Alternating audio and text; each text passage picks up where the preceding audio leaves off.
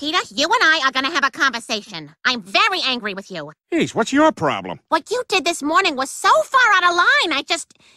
Let me tell you this. Mom was right. I can't just sit here and let you dump all over my heritage. I'm not gonna make the mistake she did. I'm Jewish, and I'm proud of it. And this weekend, we're having a Passover Seder. You can't do that. It's Easter. Not in this house. Lois, this family believes in the Easter Bunny. He died for our sins in that helicopter crash. Now, if you want to go to hell, that's fine. But don't drag the rest of us down with you like a mentally handicapped rooster. Cock-a-doodle-doo! Cock-a-doodle-doo! Good night, everybody! All this Jew food off the table. I most certainly will not. It's me or your religion, Lois. I'm a Catholic and I want to live in a Catholic house. Well, I'm a Jew, and I want to live in a nicer house. You really think I should run for mayor? Peter, you've got to stop living in your own stupid world. I'm sorry, but I can't be with someone who doesn't believe in Jesus. Hey, hey, heard my name. Wow, Jesus! Oh, you're dead now, Lois. Jesus is gonna kill you, and then we're gonna bury you in a yard next to Kathy Ireland. I, I, I, I mean, I, I mean, nice weather we're having. Look, Peter, I thought it might interest you to know that I'm Jewish. What? He's Jewish, Peter.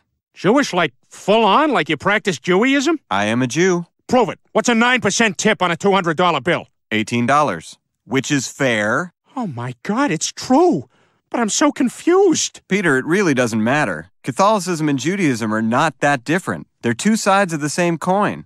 In fact, the Last Supper, one of the most iconic images of the Catholic faith, was a Passover Seder. And if I'm not mistaken, Islam is also in that same spiritual family. Uh, let's not muddy things up here. The most important thing is to treat other people the same way you would want to be treated. Oh, an eye for an eye. Well, Lois, I guess I owe you an apology. I was scared because my dad convinced me I was going to hell. And I was doing it to make up for my mother's mistake. Look, I don't know if being Jewish is the right thing for our family. I just wanted the chance to explore it so I could know for sure. But to tell you the truth, I thought we were fine before. But then, Jesus, which religion should our family be? 601, they're all complete crap. Thank you.